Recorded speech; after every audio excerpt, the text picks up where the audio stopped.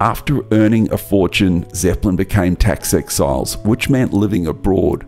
Then came a series of mishaps that dogged the group and undermined the drummer's confidence still further.